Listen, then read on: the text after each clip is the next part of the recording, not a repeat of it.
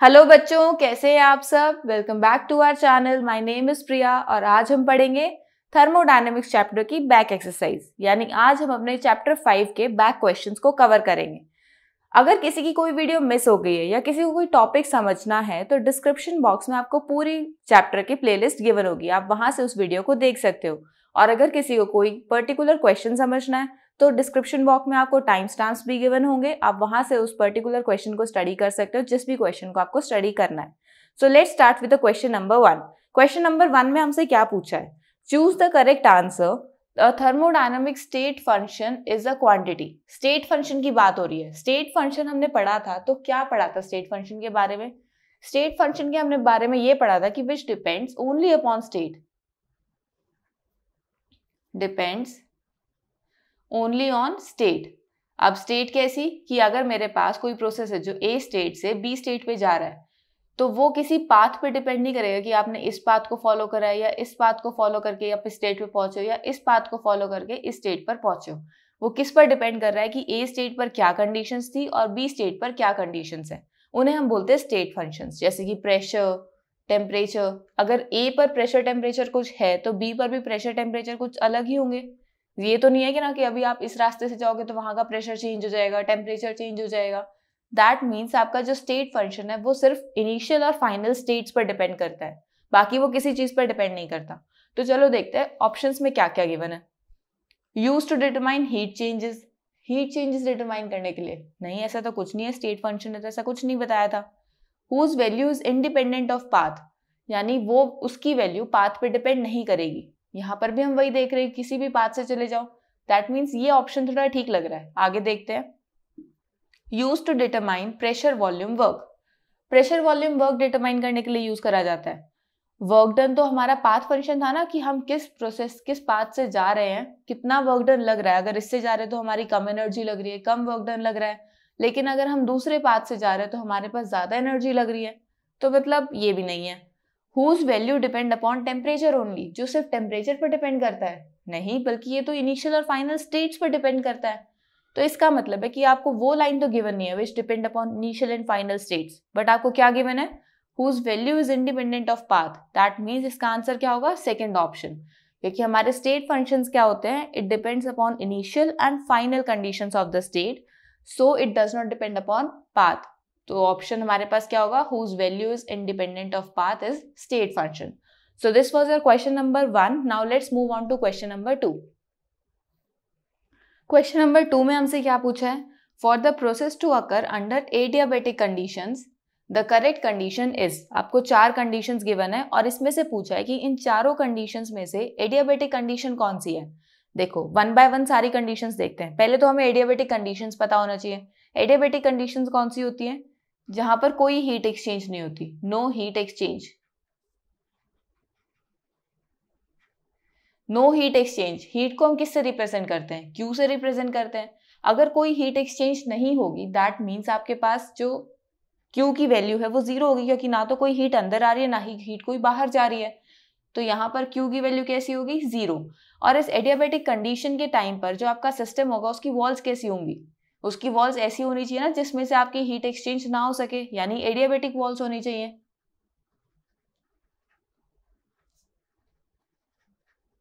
तो चलो देखते हैं अब ऑप्शन में क्या क्या गिवन है। सबसे फ़र्स्ट है delta T is equals to zero that means change in temperature is equals to zero change in temperature zero कब होता है? जब आपका इनिशियल और फाइनल टेम्परेचर इक्वल हो, क्योंकि चेंज इन टेम्परेचर का क्या मतलब होता है? T two minus T one और अगर आपके पास T two is equals to T one हो जाए तो इसकी वैल्यू क्या आएगी? ज़ीरो और ये केस कब होता है? आइसोथर्मल कंडीशंस में। तो ये तो है नहीं पॉसिबल क्योंकि मुझे तो एडियोबेटिक गिवन है। फिर delta P is equals to zero P zero means P two minus P one इसका मतलब है कि P two is equals to P one initial और फाइनल प्रेशर कब इक्वल होते हैं? आइसोबेरिक कंडीशंस में। क्योंकि आइसोबेरिक प्रोसेस में हमारा प्रेशर कांस्टेंट होता है तो ये भी नहीं होगा। फिर आता है हमारे पास Q is equals to zero हाँ ये ऑप्शन है, क्योंकि मैंने अभी हमने यहाँ देखा है कि एडियाबेटिक कंडीशंस में कोई हीट एक्सचेंज नहीं होता तो क्यू की वैल्यू ज़ीरो आती है।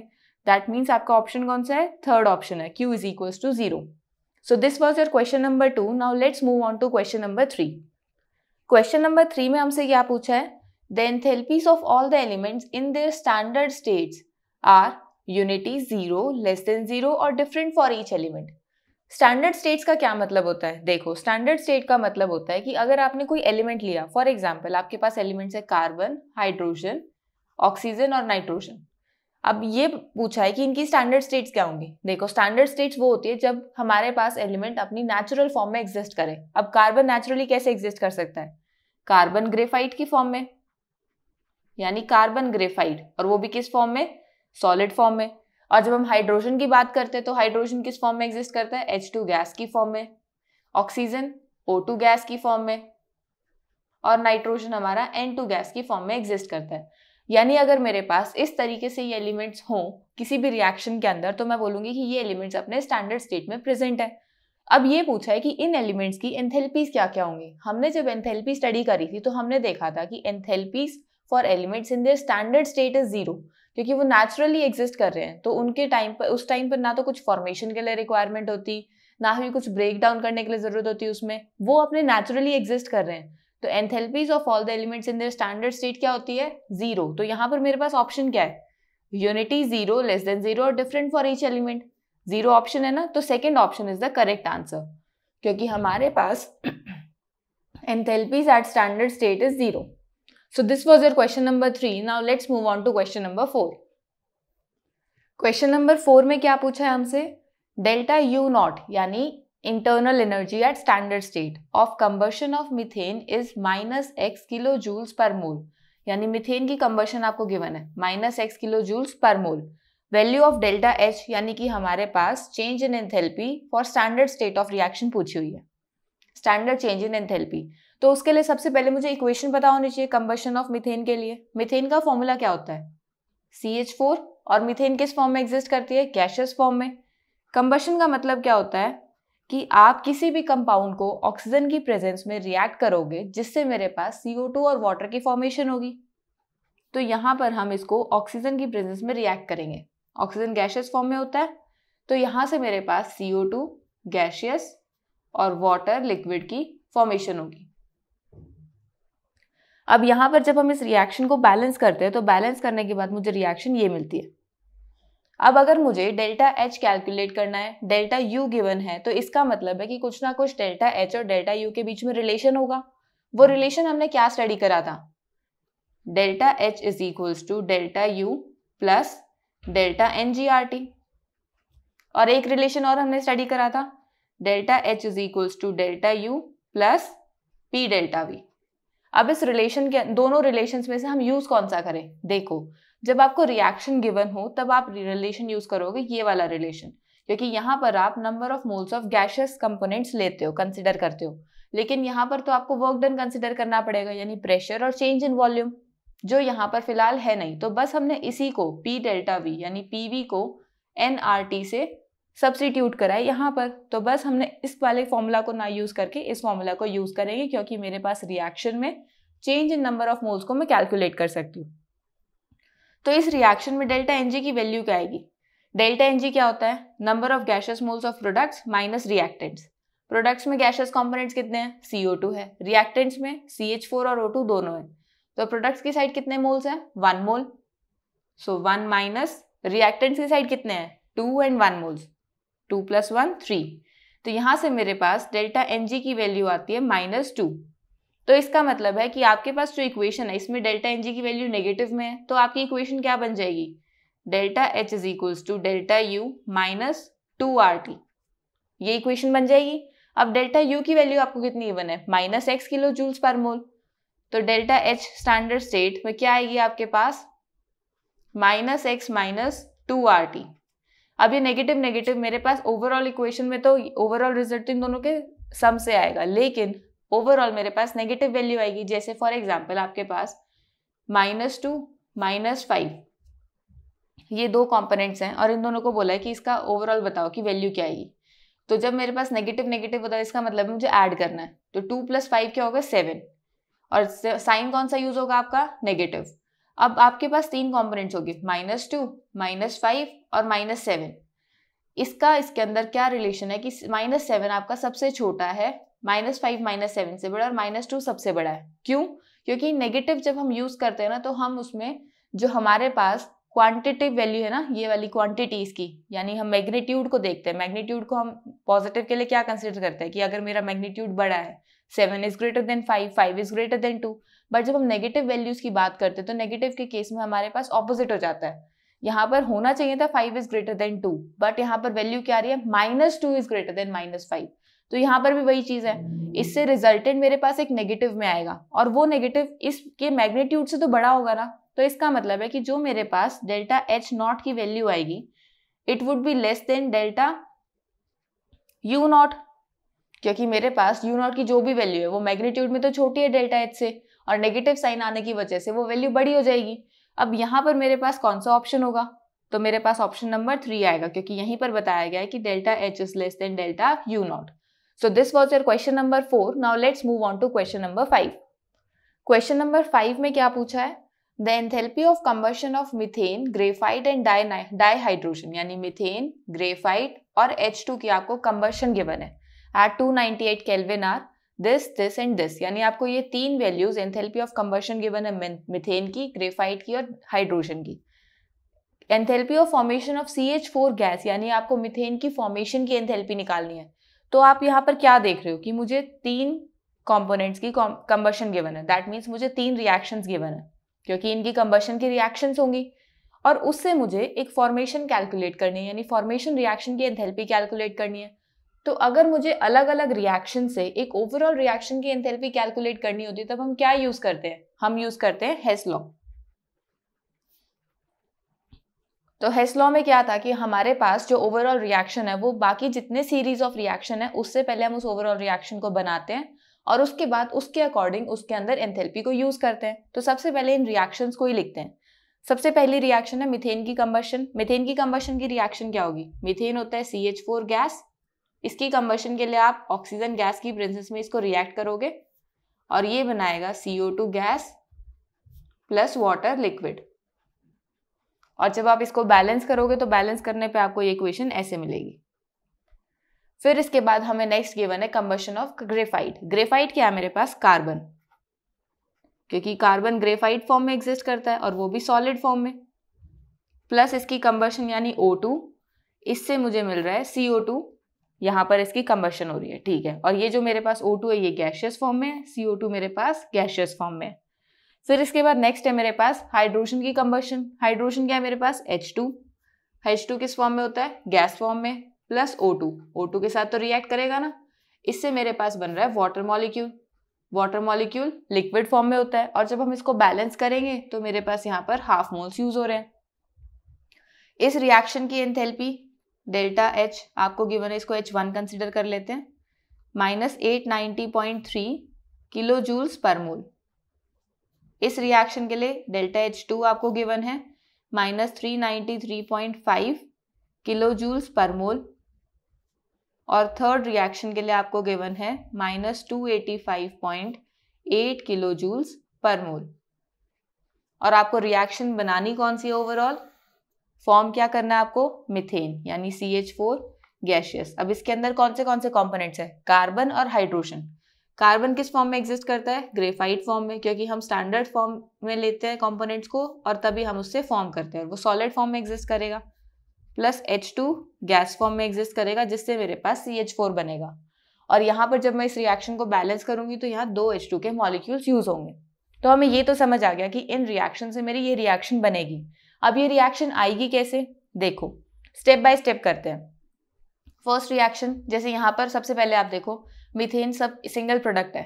तो आप यहाँ देखो मिथेन कहाँ गिवन है? मिथेन मुझे इन तीनों रिएक्शंस में से इस रिएक्शन में गिवन है। बट ये लेफ़्ट हैंड साइड पर है, मुझे लेकर जाना है राइट हैंड साइड पर। तो क्या करना होगा हमें इसे? माइनस वन से मल्टीप्लाई करना पड़ेगा। माइनस वन से इसको मल्टीप्लाई करेंगे। माइनस वन क्यों यूज़ किया? नेगेटिव तो यूज़ करा ताकि ये मिथेन लेफ़्ट हैंड साइड से राइट हैंड साइड चला जाए। और वन इसलिए यूज़ करा क्योंकि यहाँ पर भी वन मोल्स है यहाँ मेरे पास मिथेन के और मुझे ओवरऑल भी वन मोल्स ही चाहिए। तो मुझे कोई और कॉम्पोनेंट यूज़ करने की ज़रूरत नहीं है। टू थ्री कोई भी मुझे यूज़ करने की ज़रूरत नहीं है। ठीक है तो फ़र्स्ट रिएक्शन का तो हो गया। फिर मेरे पास है ग्रेफाइट कार्बन ग्रेफाइट मेरे पास इन दोनों रिएक्शंस बल्कि इन सारी रिएक्शंस में से यहाँ पर है। तो यहाँ कार्बन ग्रेफाइट कितने मोल्स है? वन मोल्स और लेफ़्ट हैंड साइड पर है। यहाँ पर भी वन मोल है और लेफ़्ट हैंड साइड पर है। दैट मीन्स इस रिएक्शन को मैं मल्टीप्लाई करूँगी वन से। फिर बचता है मेरे पास H two gas H two gas यहाँ पर मेरे पास कौन सी रिएक्शन में गिवन है? थर्ड रिएक्शन में. लेकिन यहाँ पर ये यह है तो दोनों लेफ़्ट हैंड साइड पर. पर मुझे ओवरऑल रिएक्शन में चाहिए टू मोल्स और मुझे गिवन है वन मोल तो इसका मतलब है कि मैं इस रिएक्शन को मल्टीप्लाई करूँगी टू से. ठीक है, मेरे बाकी चीज़ें तो हो गई. यहाँ ओवरऑल रिएक्शन तो बैलेंस हो गया. लेकिन क्या ये वाली सारी रिएक्शंस बैलेंस हो गई? देखो, यहाँ पर मेरे पास माइनस टू वाटर बनेगा. क्योंकि अगर हम यहाँ नेगेटिव राइट हैंड साइड ही रखेंगे तो माइनस टू और यहाँ मेरे पास बन रहा है प्लस टू वाटर तो ये कैंसिल हो जाएगा। दैट मीन्स वाटर मेरे पास नहीं आना चाहिए रिएक्शन में, नहीं आ रहा। फिर CO2 को देखते हैं। यहाँ CO2 है माइनस वन में, यहाँ CO2 है प्लस वन में। ये भी कैंसिल हो जाएगा, ठीक है, पता लग गया। अब देखते हैं ऑक्सीजन को। यहाँ ऑक्सीजन है आपके पास माइनस टू में, यहाँ प्लस वन में और यहाँ प्लस वन में। Plus one plus one plus two minus two cancel. यानी मेरे को सारे कॉम्पोनेंट्स मुझे पता लग गए, जो यूज़ नहीं हो रहे यहाँ ओवरऑल रिएक्शन में, वो कैंसिल आउट हो रहे हैं और जो यूज़ हो रहे हैं, उनके मुझे कॉम्पोनेंट्स आ गए हैं। तो अब इनसे मैं ओवरऑल रिएक्शन बना लेते हैं हम अपनी लेफ़्ट हैंड साइड और राइट हैंड साइड को देख के। तो मेरे पास यहाँ लेफ़्ट हैंड साइड में क्या आएँगे? सी और two water molecules C O two plus two water molecules plus carbon graphite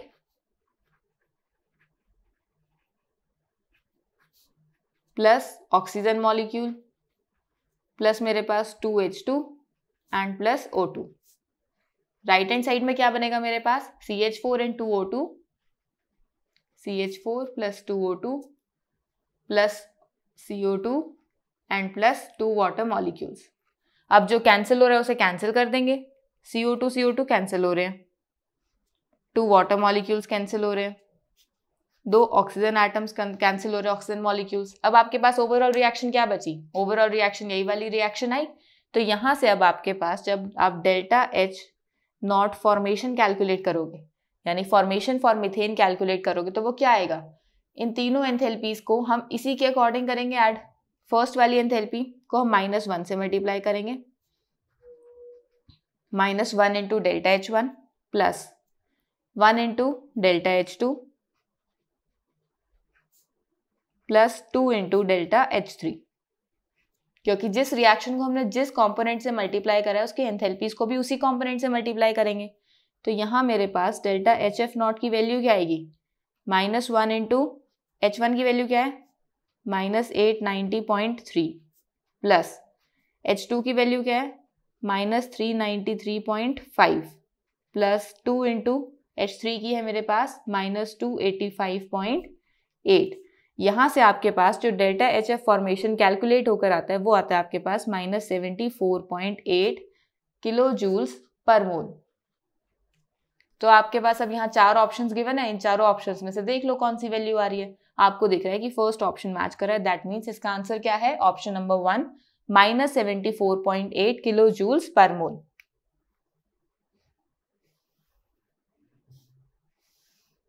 so this was your question number five now let's move on to question number six question number six में क्या पूछा है हमसे?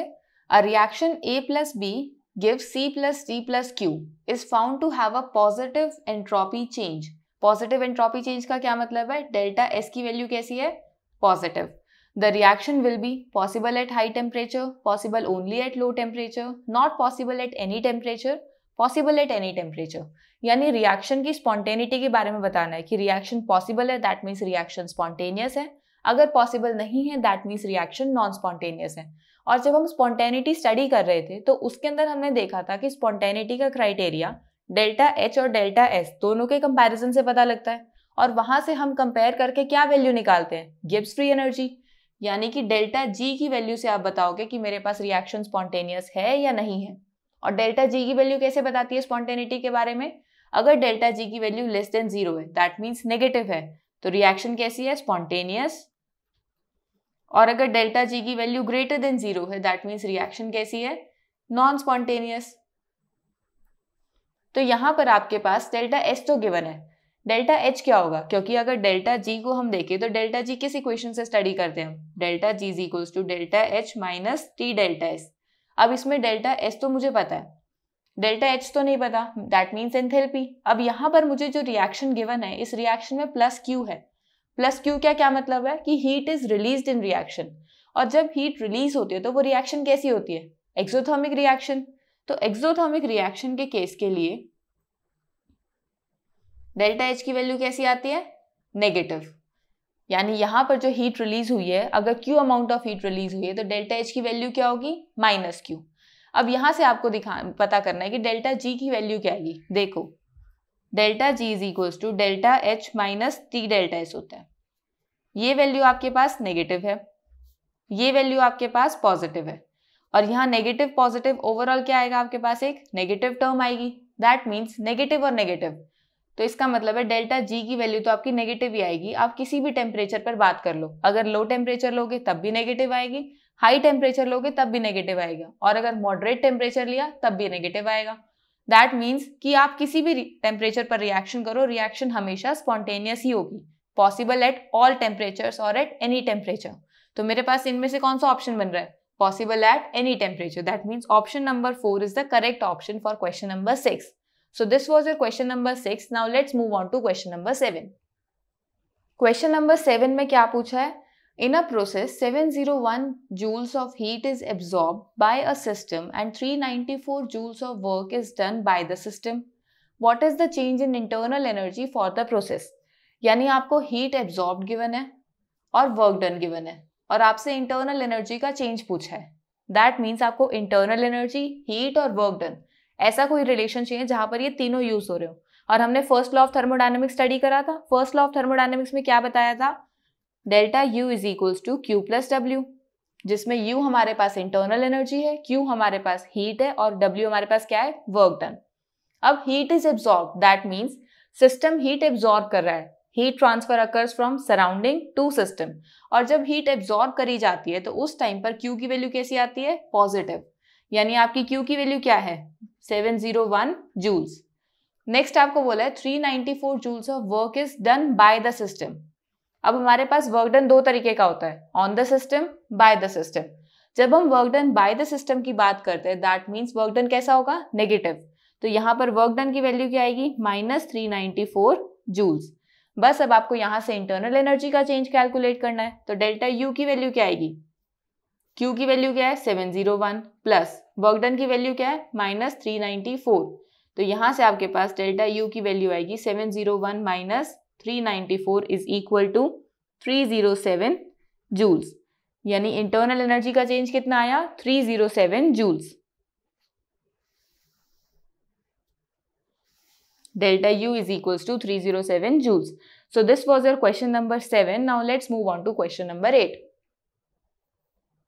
Question number eight में क्या पूछा है? The reaction of cyanamide with dioxygen was carried out in a bomb calorimeter bomb calorimeter हम किस लिए यूज़ करते हैं? इंटरनल एनर्जी के लिए.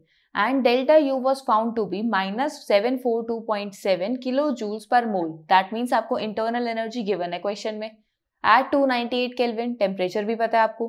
Calculate enthalpy change for the reaction at two ninety eight kelvin अब आपको इस रिएक्शन के लिए एंथेल्पी चेंज निकालना है.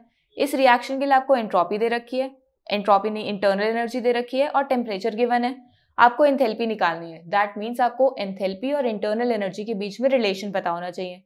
हमारे पास एंथेल्पी और इंटरनल एनर्जी के बीच में रिलेशन कौन से कौन से हैं? दो रिलेशन है ना। Delta H is equals to delta U plus P delta V and delta H is equals to delta U plus delta N G R T अब यहाँ पर हम कौन सा रिलेशन यूज़ करें? देखो, आपको यहाँ प्रेशर और वॉल्यूम तो गिवन है नहीं। दैट मीन्स ये रिएक्शन ये वाला रिलेशन तो यूज़ नहीं होगा। आर की वैल्यू तो हमारी फिक्स्ड होती है गैस कांस्टेंट होता है तो। टेम्परेचर आपको गिवन है। डेल्टा एन जी यानी change in number of moles वो आप इस रिएक्शन से निकाल सकते हो। दैट मीन्स मुझे ये वाला रिलेशन यूज़ करना है। तो सबसे पहले इसके अंदर देखते हैं क्या क्या आपको क्वेश्चन में गिवन है। डेल्टा यू की वैल्यू आपको गिवन है minus seven forty two point seven kilo joules per mole. Temperature आपको गिवन है 298 केल्विन। और आर की वैल्यू आप क्या लोगे? आर की वैल्यूज़ आपके पास दो हैं 8.314 एंड 0.8206 अब वो डिपेंड करता है कि आपकी यूनिट्स क्या है। देखो, यहाँ हम एनर्जी में बात कर रहे हैं ना तो यहाँ पर भी हम आर की वैल्यू एनर्जी में ही लेंगे। और जब आर की वैल्यू हम किलो जूल्स में लेते हैं तो हमारे पास वैल्यू आती है 8.314 point three one four into ten raise to power minus three kilo joules per mole.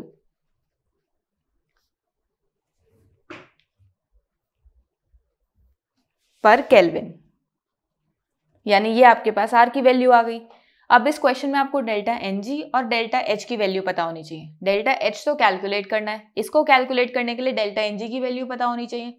वो हम निकालेंगे इस रिएक्शन से। देखो डेल्टा एन जी की वैल्यू हम कैसे निकालते हैं? Change in number of moles products minus reactants और वो भी किस फॉर्म में? गैशियस फॉर्म में। बिल्कुल करेक्ट तो जब हम इस रिएक्शन को देखते हैं तो इस रिएक्शन के अंदर मेरे पास प्रोडक्ट साइड दो गैशियस कॉम्पोनेंट्स हैं।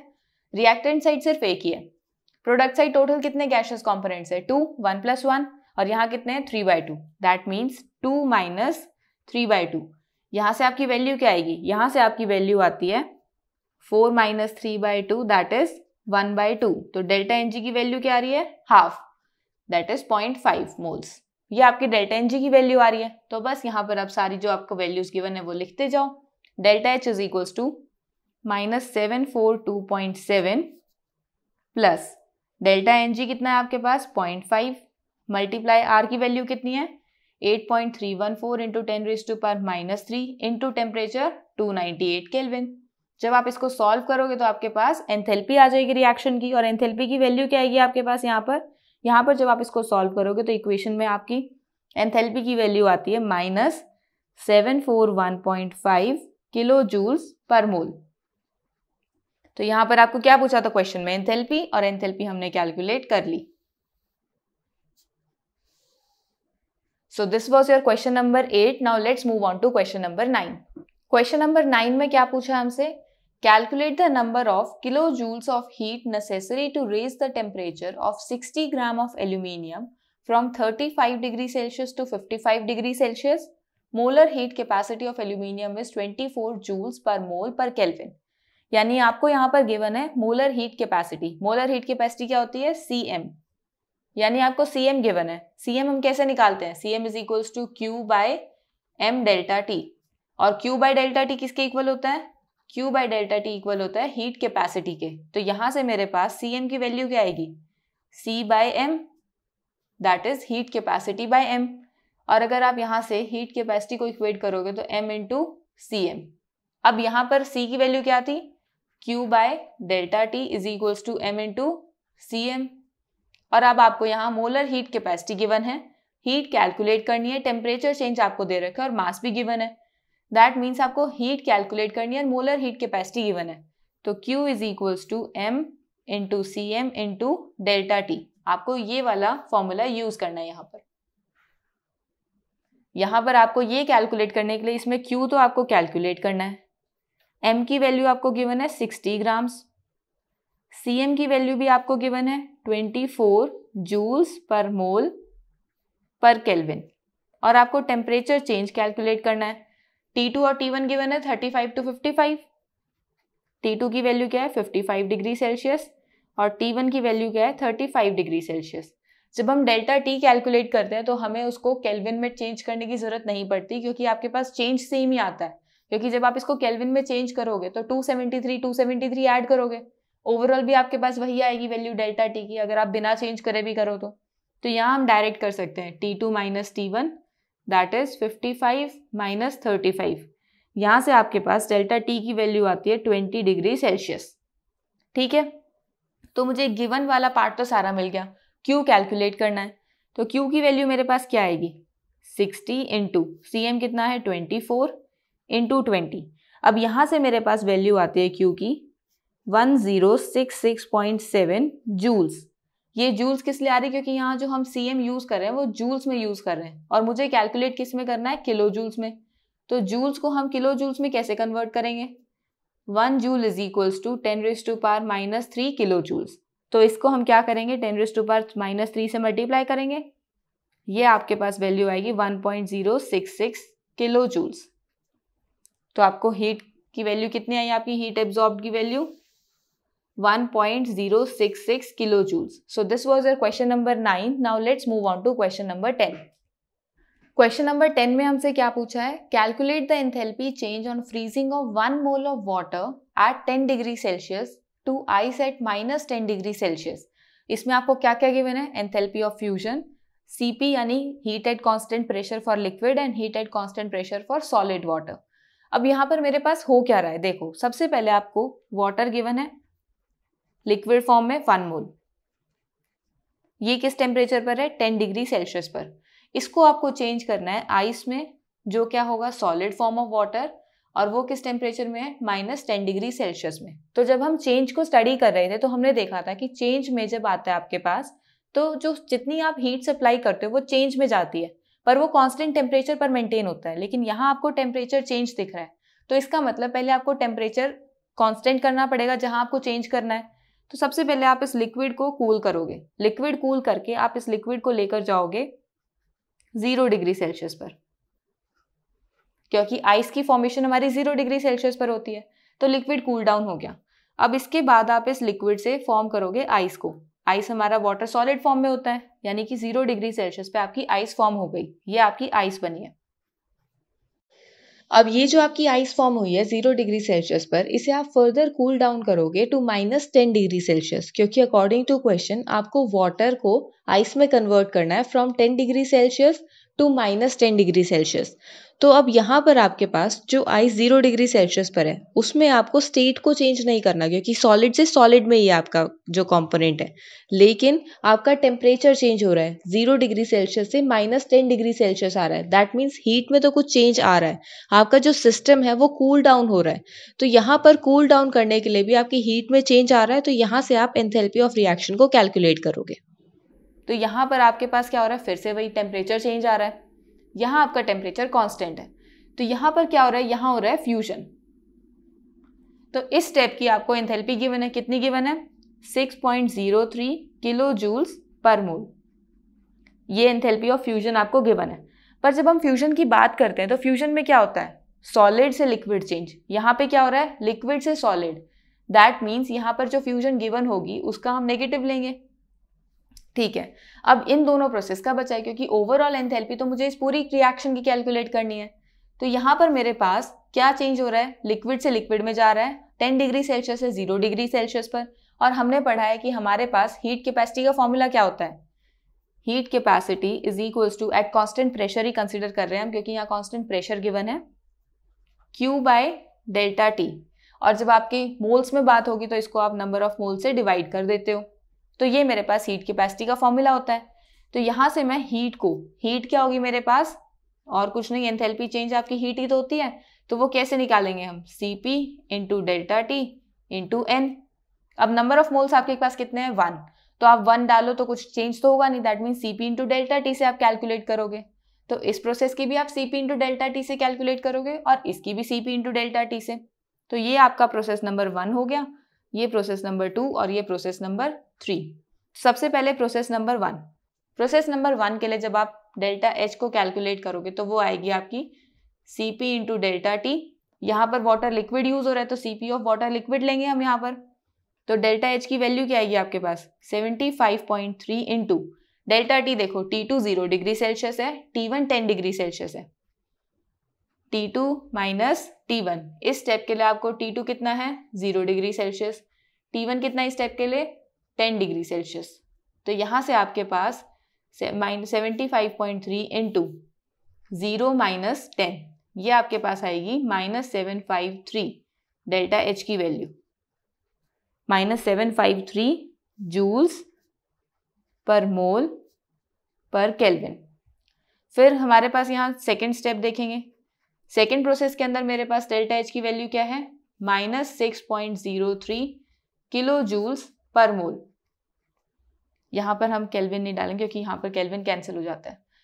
डेल्टा एच की वैल्यू जूल्स पर मोल में। यहाँ जूल्स पर मोल में है, ये किलो जूल्स पर मोल में तो इसको जूल्स में कन्वर्ट करेंगे। जब इसको जूल्स में कन्वर्ट करेंगे तो थाउज़ेंड से मल्टीप्लाई करेंगे तो ये मेरे पास वैल्यू क्या आएगी? Minus six zero three zero kilo joules per mole process number three third process के अंदर हम डेल्टा एच कैलकुलेट करेंगे, वो भी C P into delta T से। अब यहाँ पर आपको T2 क्या है? T2 गिवन है आपको यहाँ माइनस टेन डिग्री सेल्सियस और T1 आपको गिवन है ज़ीरो डिग्री सेल्सियस तो T2 टू माइनस टी की वैल्यू क्या आएगी आपकी? माइनस टेन माइनस ज़ीरो ये आपके पास वैल्यू आएगी माइनस टेन डिग्री सेल्सियस तो बस यहाँ पर आपको वैल्यू डालनी है। सॉलिड में हो रहा है ट्रांसफॉर्मेशन तो heat capacity of solid consider करोगे। सॉलिड है आपके पास thirty six point eight into minus ten यहाँ से आपके पास वैल्यू आती है minus 368 kilo joules per mole kilo नहीं जूल्स पर मोल यहाँ पर भी जूल्स पर मोल हमने इसको कन्वर्ट कर दिया था ना? तो ये आपके पास तीनों फ़ेज़ की एंथैल्पीज आ गई। अब ओवरऑल एंथैल्पी आपको कैलकुलेट करनी है तो डेल्टा एच की वैल्यू क्या आएगी? Total one plus two plus three तीनों प्रोसेस की एंथैल्पीज का सम फ़र्स्ट में वैल्यू क्या है आपके पास? Minus seven five three plus minus six zero three zero plus minus three sixty eight. तो आपके पास डेल्टा एच की वैल्यू क्या आ रही है यहाँ से? यहाँ से आपके पास डेल्टा एच की वैल्यू आ रही है minus seven one five one joules per mole. और अगर आपको किलो जूल्स में पूछा तो इसको थाउज़ेंड से डिवाइड कर देंगे तो डेल्टा एच की वैल्यू आ जाएगी minus seven one, seven point one five one kilo joules per mole. तो ये आ गई हमारे पास enthalpy change for freezing of liquid. From 10 degree Celsius to minus ten degree Celsius So this was the question number 10. Now let's move on to question number 11. 9, 10. Question number 11 में हमसे क्या पूछा है Enthalpy of combustion of carbon to CO2 is 393.5 kilojoules per mole. Calculate the heat released upon formation of 35.2 grams of CO2 from carbon and dioxygen gas. यानी यहाँ पर आपको carbon की कंबशन गिवन है। कार्बन की कंबशन क्या होता है? C plus O two gas और सी हमारा किस फॉर्म में होता है? ग्रेफाइट फॉर्म में कार्बन ग्रेफाइट फॉर्म में होता है। इसकी कंबर्शन से मेरे पास CO2 की फॉर्मेशन हो रही है और CO2 भी क्या है? गैस है। अब यहाँ से मुझे एंथेरेपी ऑफ़ कंबर्शन मिल रहा है। एंथेरेपी ऑफ़ कंबर्शन आपको गिवन है। Delta H nought is equals to minus three ninety three point five kilo joules per mole. अब यहाँ पर आप देख रहे हो कि जो आपकी एंथेल्पी ऑफ़ कंबर्शन गिवन है, ये किसके लिए गिवन है? One mole CO two form हो रहा है। एक तरीके से तो हम यहाँ पे देख सकते हैं ना कि सीओ टू की फॉर्मेशन सीओ टू की फॉर्मेशन और कार्बन की कंबर्शन हमारे पास सेम है एंथेल्पीज। क्योंकि यहाँ पर जब हम सीओ टू की फॉर्मेशन करते हैं, तब भी हम कार्बन और ऑक्सीजन को उनके एलिमेंटल स्टेट में लेते हैं। कार्बन की एलिमेंटल फॉर्म ग्रेफाइट होती है। और ऑक्सीजन की elemental form O two state होती है और उससे मेरे पास टू की फॉर्मेशन होती है। तो कार्बन की कंबर्शन हो या फिर सीओ की फॉर्मेशन हो, दोनों मेरे पास सेम चीज़ हो रही है। तो यहाँ मैं बोल सकती हूँ कि वन मोल ऑफ़ सी के लिए मेरे को जो एंथेल्पी की रिक्वायरमेंट है वो है minus three ninety three point five kilo joules per mole यानी यहाँ पर एंथेल्पी ऑफ़ रिएक्शन कितनी आ रही है आपकी? Minus three ninety three point five kilo joules per mole और आपसे पूछा है thirty five point two grams of C के लिए। अब ये हम कैसे कैलकुलेट करें? देखो, जब हमारे वन मोल की बात हो रही होती है तो वन मोल में कितना वेट होता है? One mole is equals to weight of CO2 gas और वो वेट क्या होगा हमारा? मॉलिक्यूलर वेट CO2 का मॉलिक्यूलर वेट कितना होता है? कैसे कैलकुलेट करेंगे? CO2 के अंदर हमारे पास एक कार्बन आटम है और दो ऑक्सीजन आटम है। कार्बन का अटोमिक वेट मॉलिक्यूलर वेट कितना होता है? ट्वेल्व प्लस ऑक्सीजन का कितना होता है? सिक्सटीन तो यहाँ से आपके पास आएगा फोर्टी फोर ग्राम्स यानी आपको जो ये एंथेल्पी ऑफ़ कंबर्शन गिवन है, ये फोर्टी फोर ग्राम्स के लिए forty four grams of C gas के लिए, यानी एक तरीके से सी टू फॉर्मेशन के लिए आपको minus three three point five kilo joules per mole enthalpy of reaction given है। और आपको कैलकुलेट करनी है thirty five point two grams के लिए। तो सबसे पहले क्या करोगे? One gram of CO two gas formation is equals to minus three ninety three point five by forty four kilo joules per mole 35.2 grams के लिए कितनी होगी? 35.2 grams of CO two gas formation is equals to minus three ninety three point five by forty four into thirty five point two यहाँ से आपके पास जो value आएगी, वो आएगी thirty five point two grams of C O two के लिए सी ओ टू की फॉर्मेशन की। और ये सी ओ टू की फॉर्मेशन भी कार्बन और डाईऑक्सीजन गैस से ही हो रही है कार्बन एंड डाईऑक्सीजन गैस यहाँ से आपके पास वैल्यू आ रही है minus three one four point eight kilo joules per mole अब ये आपकी है enthalpy of formation for thirty five point two grams of CO two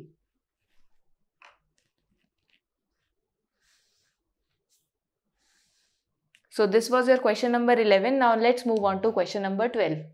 Question number 12 में क्या पूछा है हमसे enthalpy of formation of C O C O two N two O and N two O four आपको given है minus one hundred and ten minus three ninety three eighty one and nine point seven kilo joules per mole find the value of delta H R यानी enthalpy of reaction for the reaction आपको इस reaction के लिए इन enthalpies को use करके इस reaction की enthalpy calculate करनी है अब मुझे यहाँ दिख रहा है कि मुझे एक ओवरऑल रिएक्शन की एंथेल्पी कैलकुलेट करनी है और वो यूज़ कर, उसको कैलकुलेट करने के लिए वेरियस स्टेप ऑफ़ रिएक्शंस को यूज़ करना है। तो इसका क्या मतलब है? यहाँ हम क्या लगाएँगे? यहाँ हम यूज़ करेंगे हेस्लॉ और हेस्लॉ में हम क्या करते थे? जितनी भी सीरीज़ ऑफ़ रिएक्शंस को हम यूज़ करते थे, उसके बेसिस पर पहले एक ओवरऑल रिएक्शन बनाते थे, जो हमें, जिसके बारे में हमें फाइंड आउट करना होता था कि जिसकी एंथेल्पी हमें कैलकुलेट करनी होती है। तो सबसे पहले इन रिएक्शंस को फॉर्म करते हैं, क्योंकि अभी मेरे पास तो सिर्फ़ कंपाउंड्स दे रखे हैं कि इनकी फॉर्मेशन बताई गई है। बट इनकी फॉर्मेशन की रिएक्शंस तो नहीं बताई गई। जैसे सबसे पहला कंपाउंड है आपके पास कार्बन मोनोक्साइड सीओ गैस अब सीओ गैस की फॉर्मेशन कैसे होगी? सीओ के अंदर दो कॉम्पोनेंट्स हैं कार्बन एंड ऑक्सीजन तो बस इसी की यूज़ करके फॉर्म करेंगे। कार्बन किस फॉर्म में होता है? ग्रेफाइट फॉर्म में। प्लस ऑक्सीजन किस फॉर्म में होता है? ओ गैस फॉर्म में। ये फॉर्म कर रहा है सीओ गैस को। अब जब हम इसको बैलेंस करेंगे तो बैलेंस करने के लिए यहाँ पर यूज़ होएगा हाफ़ यानी हाफ़ मोल्स ऑफ़ ऑक्सीजन यहाँ यूज़ हो रहे हैं। और इसके लिए आपको delta H F not formation given है minus one one zero kilo joules per mole फिर नेक्स्ट रिएक्शन क्या है? सीओ टू की फॉर्मेशन सीओ टू की फॉर्मेशन में भी हम कार्बन और ऑक्सीजन को यूज़ करेंगे। So carbon graphite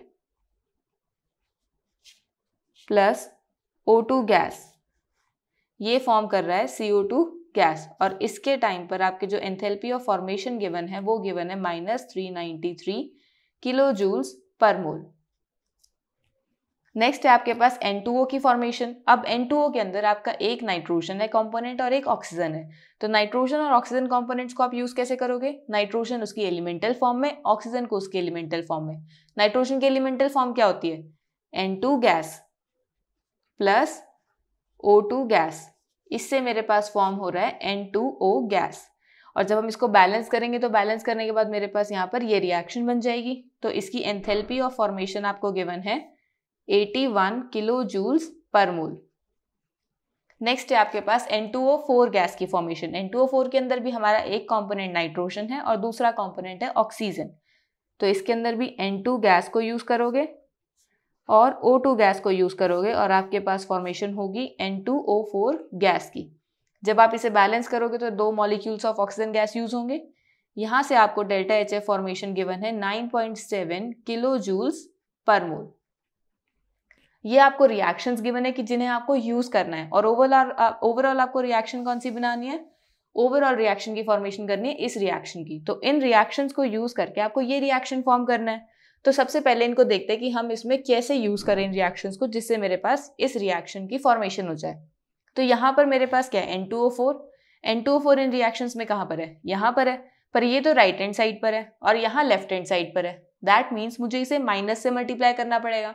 अब कॉफिशियंट क्या यूज़ करें? माइनस वन क्योंकि यहाँ पर भी वन मोल है और यहाँ पर भी आपको वन मोल ही गिवन है।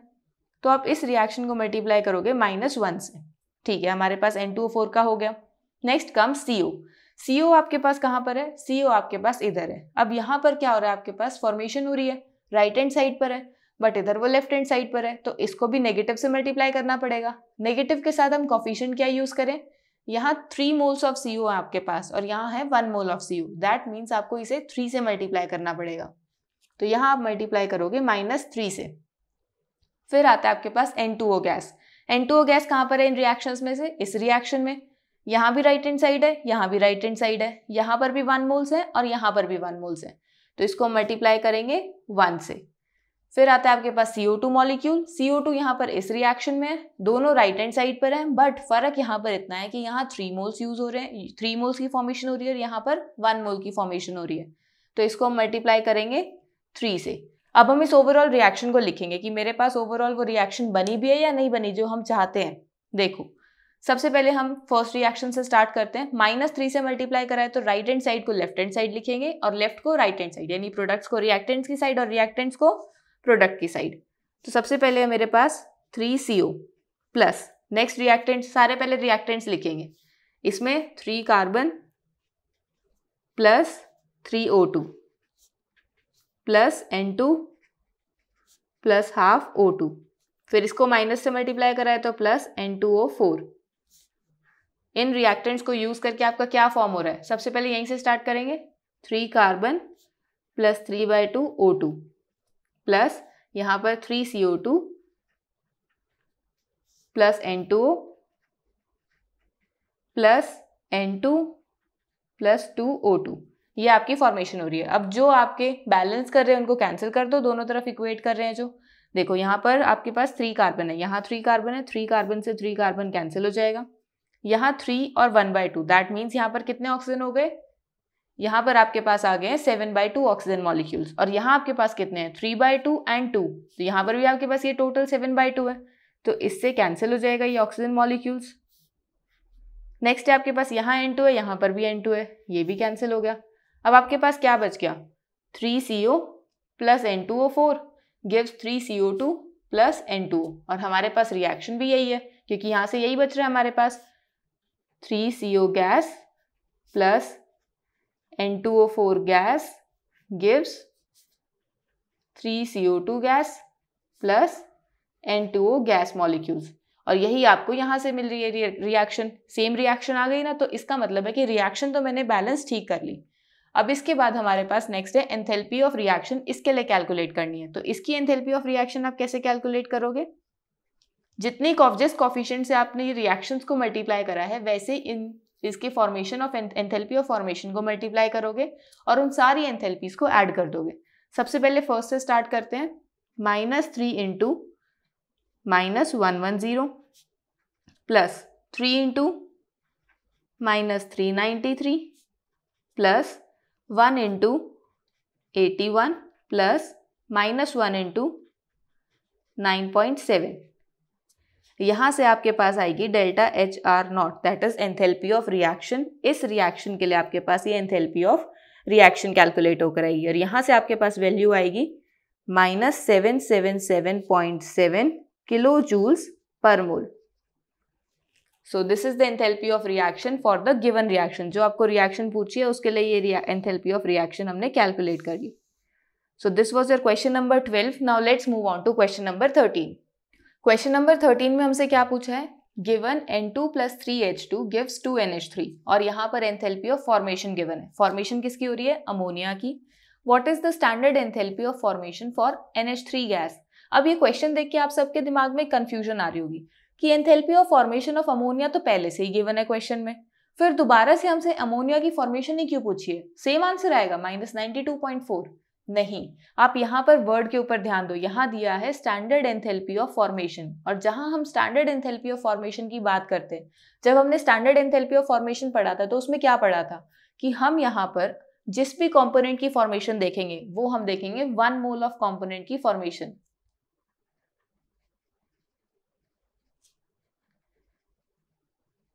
यानी आपको वन मोल फॉर्म करना है। और यहाँ पर आप कितने फॉर्म कर रहे हो? टू मोल्स फॉर्म कर रहे हो। तो इसका मतलब है कि जो ये रिएक्शन गिवन है, ये टू मोल्स ऑफ़ अमोनिया की फॉर्मेशन दे रही है। जिससे आपको जो एंथेल्पी ऑफ़ फॉर्मेशन मिल रही है, वो भी आपके टू मोल्स ऑफ़ अमोनिया की ही फॉर्मेशन मिल रही है। और आपको क्या निकालना है? आपको निकालना है one mole of ammonia gas की फॉर्मेशन के लिए। यानी अब जो आप रिएक्शन लिखोगे, वो वन मोल के लिए होगी। और उसकी आपको एंथेल्पी ऑफ़ फॉर्मेशन कैलकुलेट करनी है। तो वो हम कैसे कैलकुलेट करेंगे?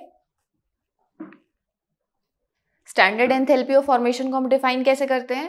Standard enthalpy of formation of a compound is the change in enthalpy that takes place during the formation of one mole of a substance in its standard form from its constituents in their standard state यानी आपको जो भी compound form करना है, वो one mole form करोगे और जो फॉर्म करोगे, जिन एलिमेंट्स को यूज़ करके फॉर्म करोगे, वो एलिमेंट्स भी अपनी स्टैंडर्ड स्टेट में होने चाहिए। यानी यहाँ पर अगर आपको अमोनिया गैस की फॉर्मेशन करनी है तो वो N two gaseous state plus H two gaseous state से ही फॉर्म होगा।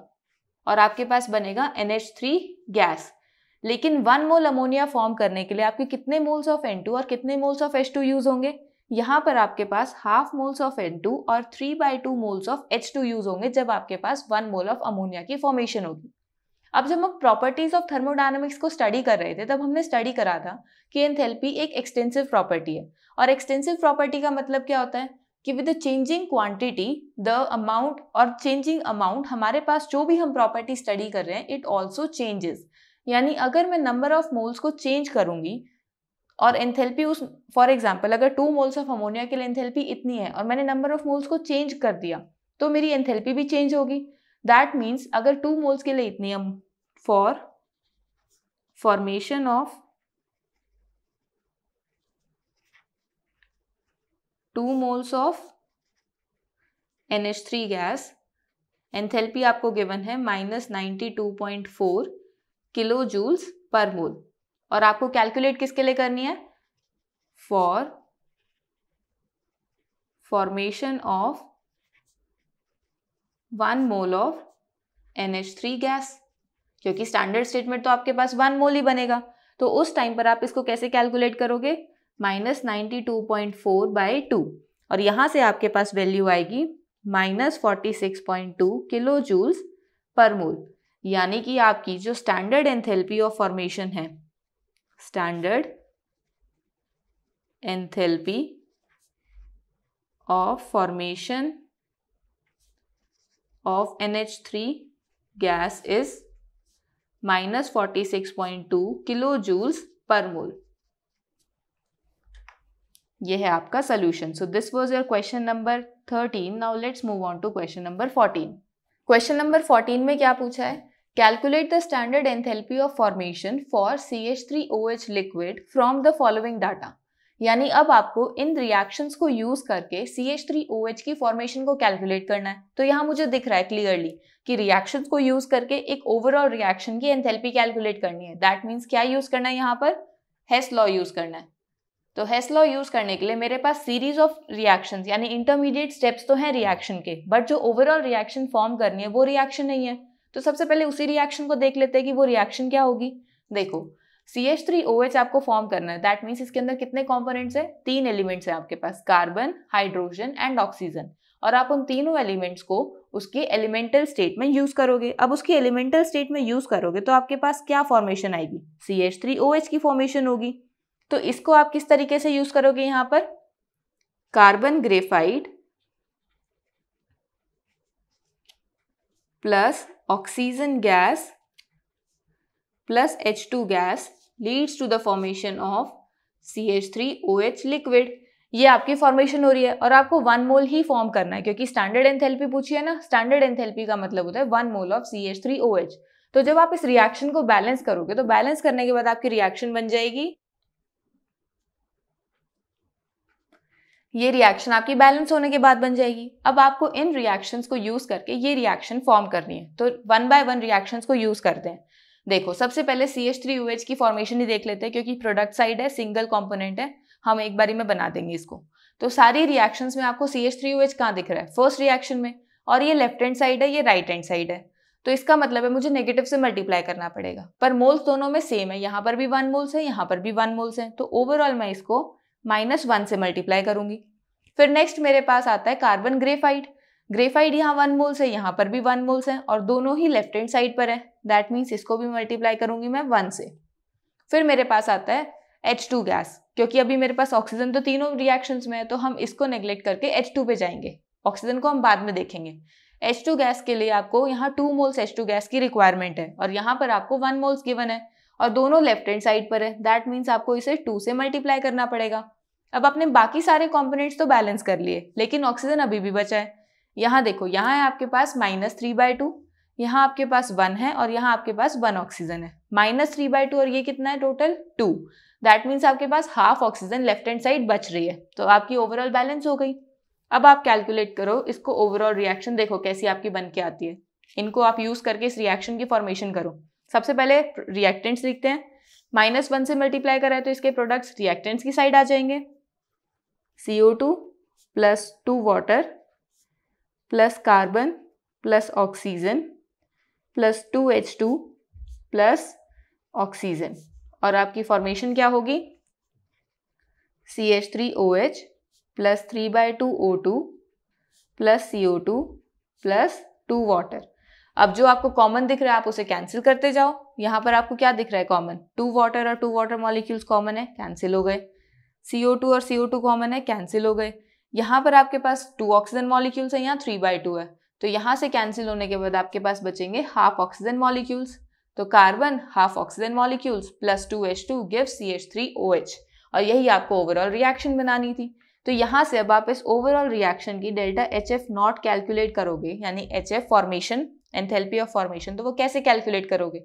जैसे जैसे आपने इन रिएक्शंस को मल्टीप्लाई करा है जिस जिस कॉफिशियंट से, वैसे ही इन एंथैल्पीज को भी मल्टीप्लाई कर देंगे। और आपके पास रिएक्शन आ जाएगी रिएक्शन की एंथैल्पी आ जाएगी। तो आपके पास सबसे पहले है enthalpy of reaction for this reaction इसको आपने माइनस वन से मल्टीप्लाई करा तो minus one into minus seven twenty six plus one into minus three ninety three plus two multiply minus two eighty six यहाँ से आपके पास आएगी delta H F not formation for C H three O H liquid और आपके पास यहाँ से कैलकुलेट होकर वैल्यू आती है minus two three nine kilo joules per mole यानी enthalpy of formation for C H three O H आपकी कितनी आई minus 239 kilojoules per mole. So this was your question number 14. Now let's move on to question number 15. Question number 15 में हमसे क्या पूछा है calculate the enthalpy change for the process अब ये आपको रिएक्शन दे रखी है और इसके अंदर आपको इसकी एंथैल्पी चेंज भी कैलकुलेट करनी है और बॉन्ड एंथैल्पी भी कैलकुलेट करनी है सी और सी एल के बीच में जो बॉन्ड की फॉर्मेशन हुई है C C L four gaseous component के अंदर। अब इसके लिए आपको वेरियस एंथैल्पीज गिवन है, यानी एंथैल्पी ऑफ़ वेपराइजेशन गिवन है CCl4 की एंथैल्पी ऑफ़ फॉर्मेशन गिवन है CCl4 की enthalpy of atomization of carbon given है enthalpy of atomization of Cl2 given है। यानी यहाँ से आपको इन एंथैल्पीज को यूज़ करके इस ओवरऑल रिएक्शन की एंथैल्पी कैलकुलेट करनी है। तो जब हमारे पास अलग अलग एंथैल्पीज गिवन है, और ये भी तो एक टाइप की रिएक्शन एंथैल्पीज ही है, यहाँ पर वेपराइजेशन रिएक्शन हो रही है, यहाँ फॉर्मेशन हो रही है, यहाँ एटमाइजेशन रिएक्शंस हो रही है दैट मीन्स कुछ इंटरमीडिएट रिएक्शंस को यूज़ करके आपको एक ओवरऑल रिएक्शन की एंथैल्पी कैलकुलेट करनी है। तो यहाँ पर क्या दिख रहा है आपको कि हेस लॉ का यूज़ होएगा यहाँ पर। तो सबसे पहले आप जो ये एंथैल्पीज यहाँ पर लिखी हुई है, इनकी रिएक्शंस लिख लेते हैं हम। तो रिएक्शंस क्या होंगी? वेपराइजेशन में क्या होता है? वेपराइजेशन में आपका लिक्विड से गैशियस फॉर्म में चेंज होता है। और वेपराइजेशन किसकी है? सी सी एल फोर की। That means C C L four liquid से चेंज होगा C C L four gaseous component में। और यहाँ से आपके पास जो एंथेल्पी इसकी आ रही है, वो आ रही है आपकी 30.5 kilo joules per mole next reaction में है आपके पास सी सी एल फोर की फॉर्मेशन अब ये जो सी सी एल फोर की फॉर्मेशन है, इसमें कार्बन और क्लोरीन दोनों यूज़ हो रहे हैं। तो CCl4 की फॉर्मेशन के लिए आप क्या करोगे? कार्बन आप यूज़ कर रहे हो? अब यहाँ ध्यान दो कार्बन यहाँ गैशियस कॉम्पोनेंट है। यहाँ आप कार्बन प्लस Cl2 को यूज़ करोगे। Cl2 किस फॉर्म में होता है? गैशियस फॉर्म में होता है। इससे आपके पास फॉर्म हो रहा है C C L four gaseous क्योंकि यहाँ गैशियस फॉर्मेशन ही करनी है। अब यहाँ पर आपके पास कार्बन गैशियस में है और यहाँ आपको carbon C C L four की फॉर्मेशन करनी थी। तो इसमें कंफ्यूज नहीं होना आपको। यहाँ आप क्या करोगे? सोचोगे कार्बन गैशियस गिवन है यहाँ पर तो यहाँ पर भी गैशियस ही ले लेते, क्या जा रहा है? नहीं, आप अपनी बेसिक नॉलेज को देखो। आपके पास जब आप फॉर्मेशन स्टडी कर रहे थे तो आपने क्या देखा था? कि जो भी आप कंपोनेंट्स यूज़ करोगे, उन्हें आपको एलिमेंटल स्टेट में लेना है। तो यहाँ पर आप कार्बन एलिमेंटल स्टेट में ही लोगे। एलिमेंटल स्टेट क्या है कार्बन की? ग्रेफाइट और ग्रेफाइट किस फॉर्म में होती है? सॉलिड फॉर्म में होती है। यानी यहाँ पर आपको कार्बन को सॉलिड फॉर्म में ही कंसिडर करना है। और यहाँ से आपके पास जो एंथैल्पी ऑफ़ फॉर्मेशन है, वो आती है minus one thirty five point five kilo joules per mole next आपके पास एटमाइजेशन एटमाइजेशन क्या होता है? अब आप देखोगे कार्बन कार्बन को क्या एटमाइज करेंगे? एटमाइजेशन का तो मतलब होता है कोई मॉलिक्यूल है, उसको उसके वेरियस कॉन्स्टिट्यूएंट एटम्स में कन्वर्ट कर देना। पर ये तो ऑलरेडी एक एटम है। देखो, जब हम एटमाइजेशन स्टडी कर रहे थे तो हमने उसमें क्या देखा था? कि मेरे पास जो भी कंपाउंड है, पहले वो खुद गैशियस स्टेट में होना चाहिए और फिर जब वो ब्रेक होगा अपने वेरियस एटम्स के अंदर तो वो एटम्स भी आपके गैशियस स्टेट में होने चाहिए। तो इसका मतलब है कि अगर मुझे कार्बन की एटमाइजेशन स्टडी करनी है तो वो सॉलिड फॉर्म से गैशियस फॉर्म में कन्वर्ट हुआ है। वो भी तो एक तरीके की एटमाइजेशन ही है। तो यहाँ पर मेरे पास carbon solid form solid form किसमें होता है वो? ग्रेफाइट फॉर्म में। वो कन्वर्ट हो रहा है कार्बन गैशियस फॉर्म के अंदर, और यहाँ से आपके पास जो एंथैल्पी आ रही है, यहाँ आ रही है आपके पास 715 kilo joules per mole next है आपके पास Cl2 के एटमाइजेशन अब Cl2 के एटमाइजेशन के अंदर क्या होगा?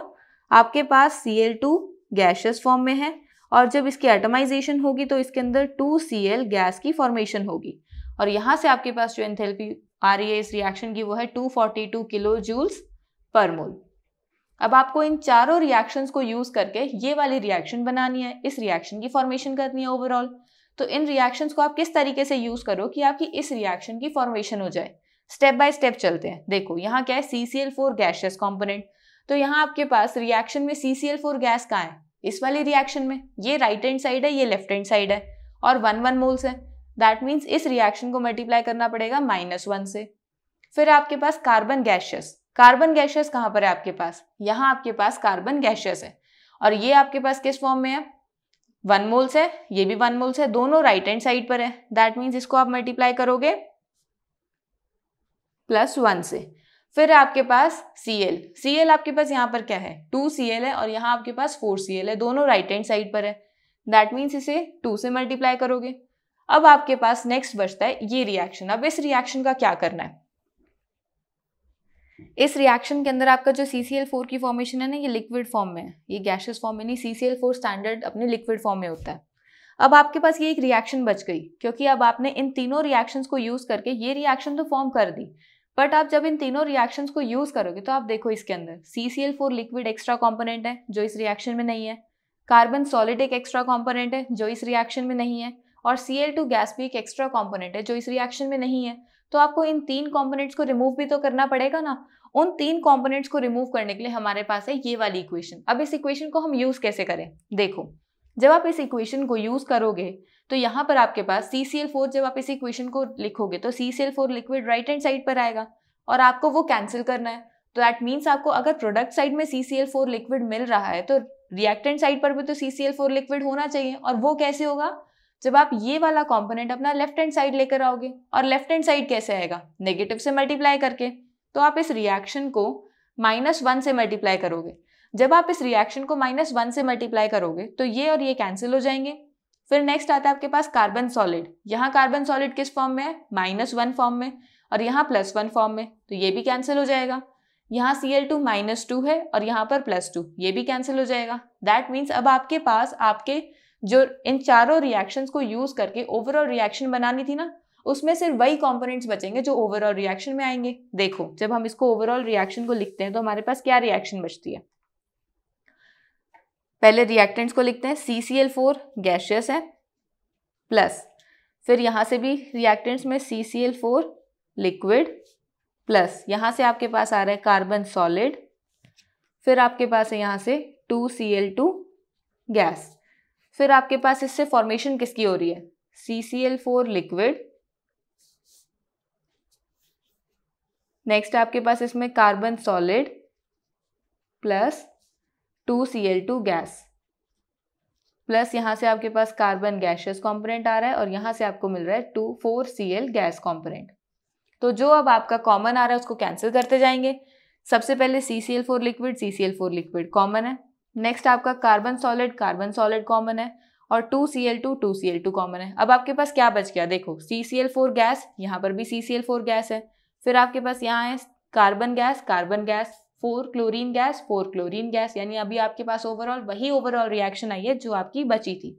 तो यहाँ से जब आप एंथेल्पी ऑफ़ रिएक्शन कैलकुलेट करोगे इस प्रोसेस के लिए डेल्टा एच तो वो कैसे कैलकुलेट करोगे? Minus one into thirty point five plus minus one into minus one thirty five point five plus one into seven one five plus two into two forty two यहाँ से आपके पास आएगी delta H enthalpy for this reaction जो आपके पास ये वाली रिएक्शन बनेगी। इससे आपके पास एंथेल्पी कितनी कैलकुलेट होके आएगी? यहाँ से कैलकुलेट होके आएगी one G one three zero four kilo joules per mole यानी अब आपने ये एंथेल्पी ऑफ़ रिएक्शन तो कैलकुलेट कर लिया, पर इसमें एक क्वेश्चन और पूछा था। दूसरा क्वेश्चन क्या पूछा था? Bond enthalpy of C C L four in C C L four gaseous component यानी अब आपको बॉन्ड एंथेल्पी कैलकुलेट करनी है। जब हम बॉन्ड एंथेल्पीज निकालते हैं तो हम क्या देखते थे? अगर नॉर्मल एंथेल्पीज गिवन है तो प्रोडक्ट माइनस रिएक्टेंट्स लेकिन बॉन्ड एंथेल्पीज के केस में क्या होता है? रिएक्टेंट्स माइनस प्रोडक्ट्स तो रिएक्टेंट्स के जितने भी बॉन्ड्स होंगे, उनको ये उनका सम लेना है और प्रोडक्ट्स के जितने बॉन्ड्स होंगे उनका सम लेना है और उनको सब्ट्रैक्ट करना है। देखो रिएक्टेंट्स के साइड पर आपके पास क्या है? Four C C L bonds हैं, क्योंकि सी सी एल फोर है ना? सी सी एल फोर किस तरीके से एग्जिस्ट करता है? ये सी सी एल फोर की एग्जिस्टेंस है। यहाँ पर आपको four C C L bonds मिल रहे हैं। दैट मीन्स जब आप इसकी बॉन्ड डिसोसिएशन एनर्जी को लिखोगे तो वो आपके पास कितनी आएगी? Four into C C L bonds plus. अगर आपके पास रिएक्टेंट्स में और कुछ है, और कुछ नहीं है तो यहाँ से नहीं जाएगा, फिर माइनस माइनस में प्रोडक्ट्स प्रोडक्ट्स में देखो, यहाँ तो सिंगल कार्बन है, और यहाँ सिर्फ़ क्लोरीन आटम है तो यहाँ पर तो कुछ प्रोडक्ट्स में तो बॉन्ड डिसोसिएशन एनर्जी आपको देखने को नहीं मिलेगी, क्योंकि यहाँ पर तो कोई बॉन्ड्स की फॉर्मेशन ही नहीं है। दैट मीन्स माइनस ज़ीरो और ओवरऑल एंथेल्पी जो हम इस प्रोसेस की कैलकुलेट करी थी, वो थी one three zero four kilo joules per mole तो यहाँ से आपको क्या मिलेगा? Four C C L bonds की जो एंथैल्पी आपको मिल रही है, वो मिल रही है वन थ्री ज़ीरो फोर तो एक सी सी एल बॉन्ड की एंथैल्पी आपको कितनी मिलेगी? One three zero four divided by four यहाँ से आपके पास वैल्यू आती है three two six kilo joules per mole यानी आपके पास जो बॉन्ड डिसोसिएशन एंथैल्पी है, वो है three twenty six kilo joules per mole और जो एंथैल्पी ऑफ़ रिएक्शन आई है आपकी, वो आई है one three zero four kilo joules per mole so this was your question number fifteen now let's move on to question number sixteen question number sixteen में क्या पूछा है हमसे? For an isolated system delta U is zero what will be the delta S यानी आपको एक isolated system given है। Isolated system का क्या मतलब है कि सिस्टम के अंदर जो कुछ भी हो रहा है, उसका बाहर से कुछ लेना देना नहीं है। यानी सराउंडिंग्स के साथ उसका कोई एक्सचेंज नहीं हो रहा। किसी तरीके की हीट एक्सचेंज नहीं हो रही, कोई थर्मल इक्विलिब्रियम मेंटेन नहीं हो रहा, कुछ ऐसे एक्सटर्नल प्रेशर कंडीशंस चेंज नहीं हो रही, कुछ नहीं हो रहा। बिल्कुल आइसोलेटेड सिस्टम है, जो कुछ है वो इस सिस्टम के अंदर हो रहा है। सिस्टम के बाहर जो सराउंडिंग है, उससे उसका कोई लेना देना नहीं है। अब जब इस सिस्टम के अंदर की हम बात कर रहे हैं तो यहाँ पर आपको जो चेंज इन इंटरनल एनर्जी है, वो ज़ीरो दे रखी है। और आपसे चेंज इन एंट्रोपी को पूछा है। देखो, इसको एक एग्ज़ाम्पल से स्टडी करते हैं। हमारे पास मान लो एक आइसोलेटेड सिस्टम है। और इस आइसोलेटेड सिस्टम के बीच में मैंने एक पार्टीशन दे रखा है। यानी इस बॉक्स को दो बॉक्सेस में डिवाइड करा हुआ है। अब यहाँ पर मेरे पास गैस ए है और यहाँ गैस बी है। जैसे ही मैं इस पार्टीशन को रिमूव करूँगी, क्या गैस ए और गैस बी अपनी अपनी पोजीशन पर फिक्स रहेंगे? बिल्कुल नहीं, क्योंकि अभी जब पार्टीशन लगा हुआ है, तब भी यहाँ गैस के पार्टिकल्स मूव कर रहे हैं ए मॉलिक्यूल्स और यहाँ बी गैस के पार्टिकल्स मूव कर रहे हैं। और जैसे ही मैं इस पार्टीशन को रिमूव करूँगी तो ये सारी गैसेज आपस में मिक्स होने की कोशिश करेंगे। यानी यहाँ पर क्या हो रहा है? इंटरमिक्सिंग ऑफ़ गैसेज हमें देखने को मिल रही है, और जब मेरे पास इस तरीके से कुछ मिक्स होने को कोशिश करते हुए चीज़ें मिले या फिर मैं देखूँ कि मेरे पास जो मैंने अरेंजमेंट करी थी वो डिस्टर्ब हो गई। हम कह सकते हैं ना कि हमने ए और बी को अलग अलग अरेंज करा था। लेकिन जैसे ही मैंने पार्टीशन रिमूव करा अरेंजमेंट डिस्टर्ब हो गई। उन मॉलिक्यूल्स के अंदर रैंडमाइजेशन आ गई, क्योंकि अब ए मॉलिक्यूल्स को सिर्फ़ इतनी ही स्पेस में मूवमेंट की जगह नहीं मिली। उसे तो पूरे बॉक्स में मूव होने की जगह मिल गई। सिमिलरली बी को भी पूरे बॉक्स में मूव होने की स्पेस मिल गई है। तो इसका मतलब है कि ए गैस की भी रैंडमनेस इंक्रीज हुई है और बी गैस की भी रैंडमनेस इंक्रीज हुई है। तो जो मेरा ओवरऑल सिस्टम है, इसके अंदर जो रैंडमनेस इंक्रीज हो गई है पार्टिकल्स की। और जब हम रैंडमनेस की बात करते हैं तो केमिस्ट्री में रैंडमनेस को हम टर्म देते हैं एंट्रोपी और एंट्रोपी को हम रिप्रेजेंट करते हैं एस से। तो यहाँ पर मेरे पास एंट्रोपी क्या हो रही है? इंक्रीज हो रही है। अगर एंट्रोपी इंक्रीज हो रही है दैट मीन्स यहाँ पर डेल्टा एस की वैल्यू क्या आएगी? पॉजिटिव या फिर आप कह सकते हो delta S would be greater than zero तो अब आप इसको अपने वर्ड्स में किस तरीके से एक्सप्रेस करोगे? Delta s will be positive, that is greater than 0 since the isolated system, delta u is 0 hence delta S will be positive and the reaction will be spontaneous और अगर आपको इसे और एक्सप्लेन करना है तो आप इस एग्ज़ाम्पल को भी एक्सप्लेन कर सकते हो अपने वर्ड्स में, कि हमने ये एग्ज़ाम्पल कंसिडर किया कि एक बॉक्स के अंदर दो गैसेज हैं, आप इसको अपने वर्ड्स में एक्सप्लेन कर सकते हो। So this was your question number sixteen now let's move on to question number seventeen question number seventeen में क्या पूछा हमसे? For reaction at two ninety eight kelvin two A plus B give C ये आपको reaction दे रखी है। इसकी आपको एंथेल्पी और एंट्रोपी गिवन है। At what temperature will the reaction become spontaneous considering delta H and delta S to be constant over the temperature range? यानी यहाँ पर आपको स्पॉन्टेनिटी बतानी है कि किस टेम्परेचर पर रिएक्शन स्पॉन्टेनियस होगी। और आप कंसिडर कर रहे हो कि आपकी जो टेम्परेचर रेंज है ना ओवर कोई कुछ पर्टिकुलर टेम्परेचर रेंज तो आप इसमें जो बताओगे जो टेम्परेचर आप इसमें बताओगे, उस टाइम पर आपका डेल्टा एच और डेल्टा एस जो गिवन है, यही रहेगा कॉन्स्टेंट रहेगा रिएक्शन का। तो यहाँ पर जब हम स्पॉन्टेनियस की बात कर रहे हैं स्पॉन्टेनियस रिएक्शन दैट मीन्स हमें हमारी स्पॉन्टेनिटी वाली इक्वेशन पता होनी चाहिए। और स्पॉन्टेनिटी हम किससे बता रहे थे? गिब्स फ्री एनर्जी से। दैट मीन्स आपको गिब्स फ्री एनर्जी की इक्वेशन पता होनी चाहिए। और गिब्स फ्री एनर्जी की इक्वेशन है delta G is equals to delta H minus T delta S बिल्कुल करेक्ट और हम स्पॉन्टेनियस कब बोलते हैं रिएक्शन को? जब डेल्टा जी की वैल्यू नेगेटिव हो that means less than zero और यहाँ पर अगर आपको टेम्परेचर कैलकुलेट करना है, किस टेम्परेचर पर रिएक्शन स्पॉन्टेनियस होगी तो आप क्या बताओगे? सबसे पहले आपको पता होना चाहिए टेम्परेचर कैसे निकालेंगे। देखो टेम्परेचर कैलकुलेट करने के लिए आपको क्या करना पड़ेगा? सबसे पहले आप कंसिडर कर लो कि हम एक इक्विलिब्रियम स्टेट कंसिडर कर लेते हैं, क्योंकि तभी तो आपकी डेल्टा जी की वैल्यू ज़ीरो होगी और आपके डेल्टा एच और टी डेल्टा एस इक्वेट करेंगे, क्योंकि आपको इसकी वैल्यू तो पता नहीं है। पर इन दोनों की वैल्यूज़ पता है तो इन्हें यूज़ करके आपको टेम्परेचर कैलकुलेट करना है और इन्हें आप तभी यूज़ कर सकते हो जब आपकी डेल्टा जी की वैल्यू ज़ीरो हो। और डेल्टा जी की वैल्यू ज़ीरो कब होती है? इक्विलिब्रियम कंडीशंस पर। That means delta G is zero ये आपको कंसिडर करना है एट इक्विलिब्रियम यानी आपने रिएक्शन को इक्विलिब्रियम पर कंसिडर कर लिया। जब आप इसको डेल्टा जी को ज़ीरो कंसिडर करते हो तो आपके पास इक्वेशन क्या बच जाती है? Delta H minus T delta S is equals to zero तो आपके पास इक्वेशन क्या बनेगी? Delta H is equals to T delta S. और आपको कैलकुलेट क्या करना है? आपको टेम्परेचर कैलकुलेट करना है। तो टेम्परेचर क्या आएगी रिएक्शन का? Delta H by delta S. यानी एंथैल्पी को जब आप एंट्रोपी से डिवाइड करोगे तो आपके पास ओवरऑल टेम्परेचर मिल जाएगा रिएक्शन का। तो बस आपको यहाँ पर वही करना है। आपको क्या दे रखा है? डेल्टा एच की वैल्यू कितनी गिवन है आपको? डेल्टा एच की वैल्यू आपको गिवन है four hundred divided by delta H की फोर हंड्रेड और एंट्रोपी कितनी है? Point two point two. और दोनों ही किलो जूल्स के अंदर है तो आपको यूनिट्स में कन्वर्शन करने की रिक्वायरमेंट नहीं है। यहाँ से आपके पास टेम्परेचर की वैल्यू आती है टू थाउज़ेंड केल्विन यानी आपको ये तो पता लग गया कि अगर आपने टू थाउज़ेंड केल्विन यूज़ करा तो उस टाइम पर डेल्टा जी की वैल्यू ज़ीरो आएगी। तो अब मैं क्या कि, कितना टेम्परेचर यूज़ करूँ कि डेल्टा जी की वैल्यू नेगेटिव आए। देखो डेल्टा जी की वैल्यू आपको नेगेटिव चाहिए। और आपको डेल्टा एच की वैल्यू पॉजिटिव दे रखी है और डेल्टा एस की भी वैल्यू पॉजिटिव दे रखी है। नेगेटिव नेगेटिव ओवरऑल आपके पास ये जो टी डेल्टा एस वाला फैक्टर है, ये नेगेटिव बनेगा। दैट मीन्स आपका जो ये वाला पार्ट है, ये तो नेगेटिव आ गया और ये वाला पार्ट आपका पॉजिटिव है। तो ओवरऑल अगर आपको डेल्टा जी नेगेटिव लेकर आना है तो डेल्टा एच की वैल्यू टी डेल्टा एस से कम होनी चाहिए। और ये कम तभी होगी जब आपका टेम्परेचर हाई होगा, क्योंकि अगर टेम्परेचर ज़्यादा होगा, तभी तो आपकी टी डेल्टा एस की वैल्यू ज़्यादा आएगी। तो टेम्परेचर कितनी वैल्यू से ज़्यादा होना चाहिए? क्योंकि 2000 पर तो वो ज़ीरो आ रहा है। दैट मीन्स 2000 पर तो आपका डेल्टा एच और टी डेल्टा एस दोनों इक्वेट कर रहे हैं। तो इसका मतलब है कि टेम्परेचर की वैल्यू आपकी 2000 से बड़ी आनी चाहिए।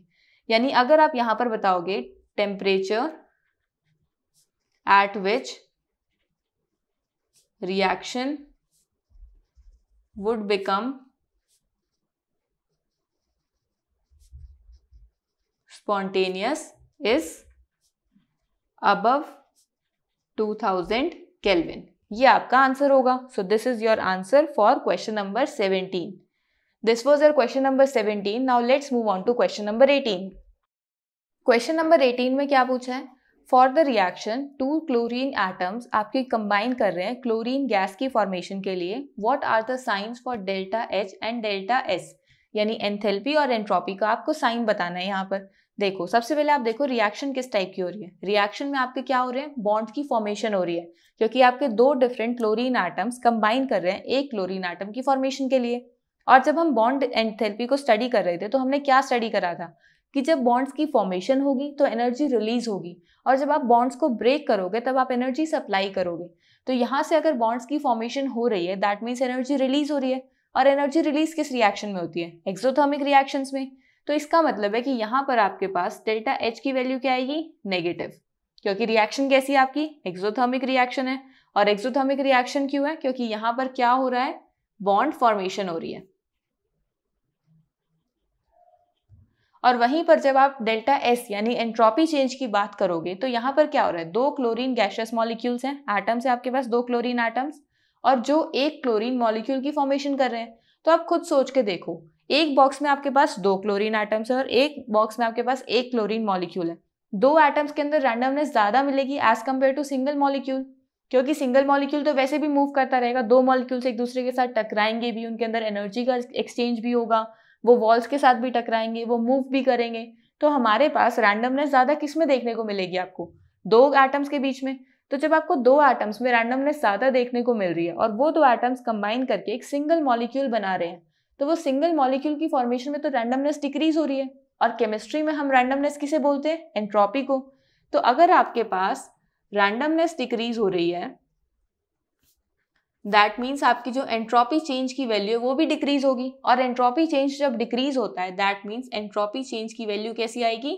नेगेटिव तो यहाँ से आपको क्या पता लगा कि एंथेल्पी चेंज की वैल्यू भी नेगेटिव आ रही है और एंट्रोपी चेंज की वैल्यू भी नेगेटिव आ रही है। तो आप इसे अपने वर्ड्स में किस तरीके से एक्सप्रेस करोगे?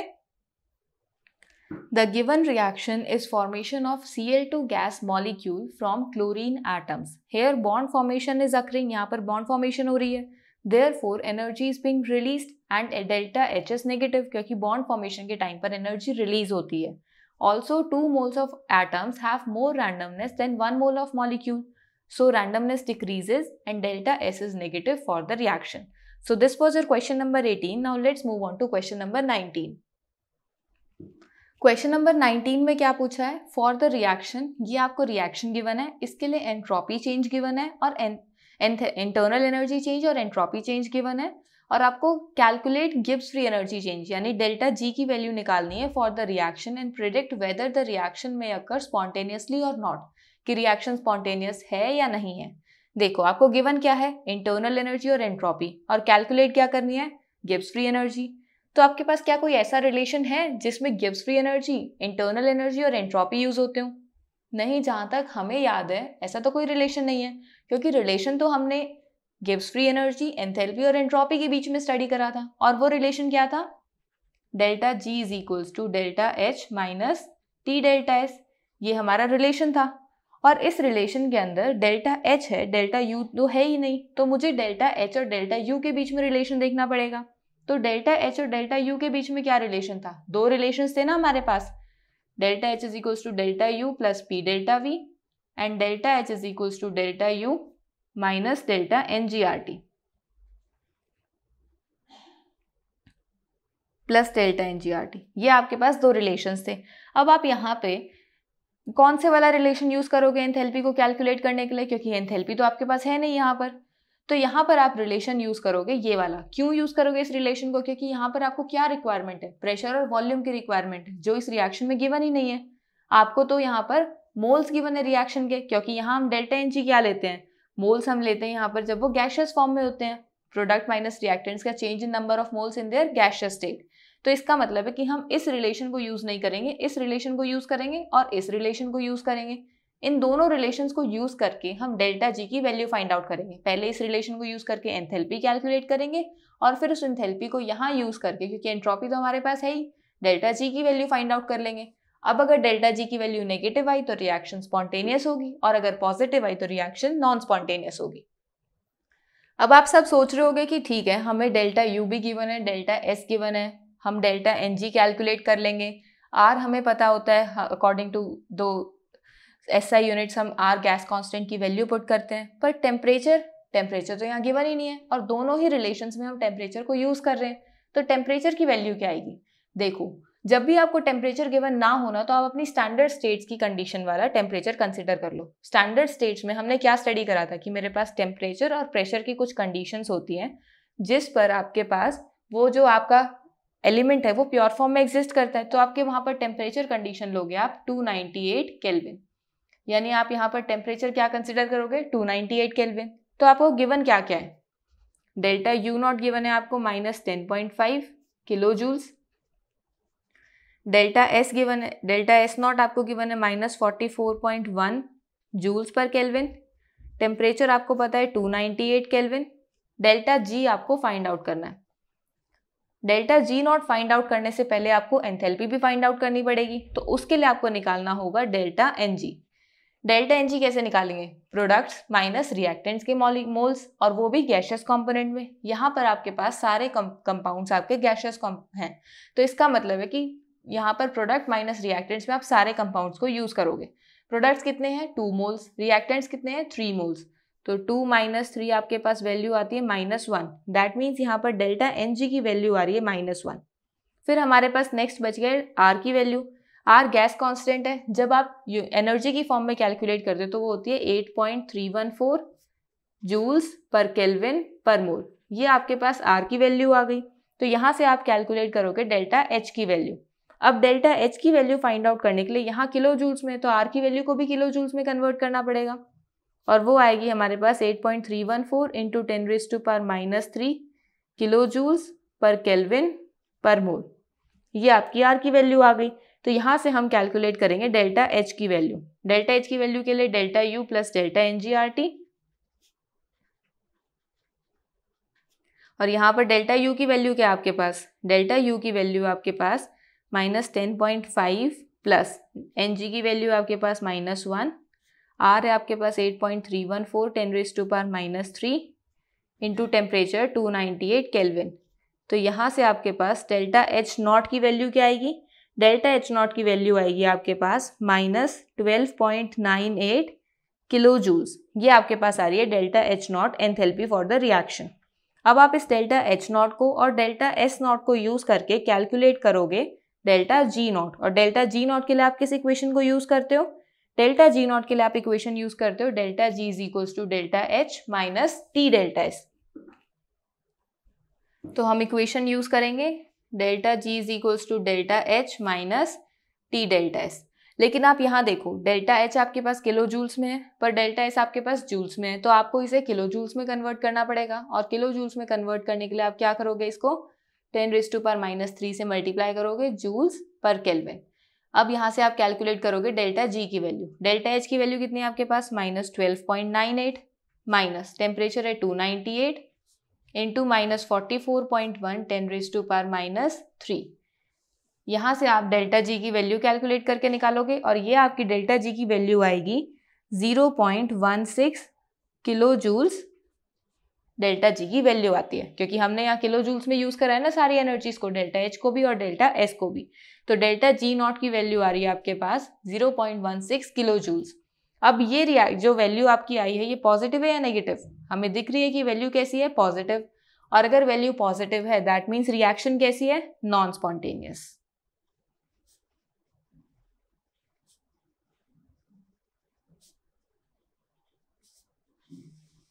So this was our question number 19. Now let's move on to question number 20.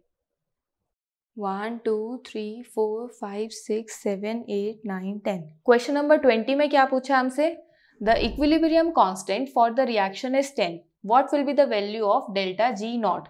आपको R की वैल्यू गिवन है और टेम्परेचर गिवन है अगर आपको इक्विलिब्रियम कांस्टेंट गिवन है और डेल्टा जी नॉट की वैल्यू पूछी है दैट मीन्स कोई रिलेशन हमने स्टडी करा होगा इक्विलिब्रियम कांस्टेंट और गिब्स फ्री एनर्जी के बीच में, तभी तो हम कैलकुलेट कर पाएँगे और वो रिलेशन हमने क्या स्टडी करा था delta G naught is equals to minus two point three naught three R T log के ये हमने रिलेशन स्टडी करा था। अब इस रिलेशन के अंदर आपके पास के क्या है? के है आपका इक्विलिब्रियम कांस्टेंट और इक्विलिब्रियम कांस्टेंट की वैल्यू क्या गिवन है आपको? टेन आर की वैल्यू आपको eight point three one four given है। टेम्परेचर आपको थ्री हंड्रेड केल्विन गिवन है। क्या क्या गिवन है आपको? R is equals to eight point three one four joules per kelvin per mole temperature given है आपको थ्री हंड्रेड केल्विन और के की वैल्यू आपको गिवन है टेन तो यहाँ से आप डेल्टा जी की वैल्यू फाइंड आउट कर सकते हो। वो आपकी आएगी minus two point three naught three into eight point three one four into three hundred into log ten. Log ten की वैल्यू आपकी होती है वन तो यहाँ से आपके पास डेल्टा जी नॉट की वैल्यू सॉल्व होने के बाद आ रही है minus five seven four four point one four joules per mole. और अगर आप इसे किलो जूल्स में कन्वर्ट करोगे तो थाउज़ेंड से डिवाइड कर दोगे, फिर आपकी वैल्यू हो जाएगी minus seven point five point seven four four kilo joules per mole. यह आपकी Gibbs free energy for the question जो आपसे पूछा गया था। So, this was our question number 20. Now, let's move on to question number 21. Question number 21 में क्या पूछा है? Comment on the thermodynamic stability of NO gas यानी आपको एनओ गैस की थर्मोडाइनमिक स्टेबिलिटी पे कमेंट करना है कि आपकी एनओ गैस जो इस रिएक्शन में यूज़ हो रही है, वो स्टेबल है भी या नहीं है। देखो, आपके पास दो रिएक्शन हैं। फ़र्स्ट रिएक्शन के अंदर आपको एनओ की फॉर्मेशन दिखाई गई है और सेकेंड रिएक्शन के अंदर एनओ की ऑक्सीजन के साथ रिएक्शन दिखाई गई है।